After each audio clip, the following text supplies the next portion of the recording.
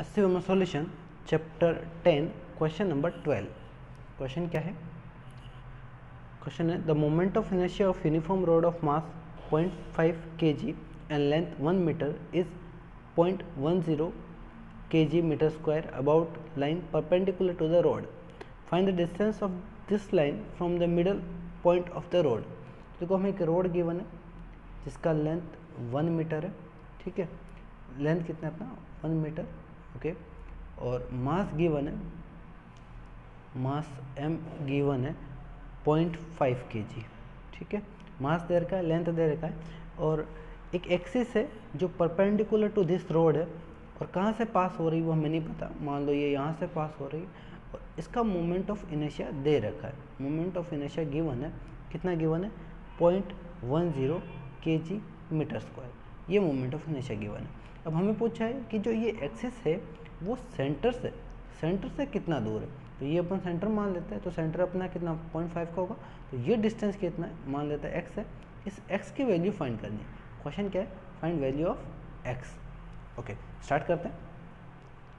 देखो, मेरे को ये मोमेंट ऑफ़ इनेशिया निकालना हो, जैसे ये तो यहाँ गिवन है बट अगर ये निकालना हो तो हम कैसे निकालेंगे? क्योंकि हमें जो पता होता है वो सेंटर से पास होने वाले का मोमेंट ऑफ़ इनेशिया पता होता है। ये मेरे को पता होता है ये सेंटर से पास होता है तो इसका मोमेंट ऑफ़ इनेशिया मेरे को होता है आई जी आई जी अगर इसको मैं आई जी डिनोट करता हूँ तो मोमेंट ऑफ़ इनेशिया कितना होगा ये? M L square by twelve ये ये कहाँ से पास हो रहा है? सेंटर से पास हो रहा है? परपेंडिकुलर टू रोड हो तो मोमेंट ऑफ़ इनेशिया क्या होगा? M L square by twelve अब मेरे को ये वाला फाइंड करना है। तो यहाँ मैं पैरेलल एक्सिस थ्योरम लगा सकता हूँ। पैरेलल एक्सिस थ्योरम के लिए क्या करना है कि दोनों जो एक्स जो एक्सिस है वो दोनों पैरेलल होने चाहिए और जो आप गिवन है, जो आप यूज़ कर रहे हो, वो सेंटर से पास होना चाहिए। किसके सेंटर से? आप जो भी बॉडी ले रहे हो, उसके सेंटर ऑफ़ मास से पास हो और दोनों पैरेलल हो तो आप पैरेलल एक्सिस अप्लाई कर सकते हो। तो यहाँ पैरेलल एक्सिस अप्लाई कर सकता हूँ। तो जो ये आई है, वो आई इज़ इक्वल टू क्या लिख सकता हूँ? लिख सकता हूँ I G plus M X square right तो यहाँ पे आई जी कितना है? M L square by twelve और ये एम एक्स स्क्वायर इसकी वैल्यू किस, कितनी लिख सकता हूँ? आई की वैल्यू कितनी? आई की वैल्यू हमें दे रखा है point one zero right okay यहाँ से मैं क्या करें? ट्वेल्व को मल्टीप्लाई कर देते हैं मास को कॉमन ले लेते हैं।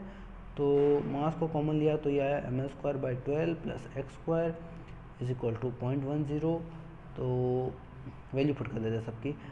L square plus twelve X square और ये twelve into point one zero by mass कितना है? Point five. और एल कितना अपना एल वन है।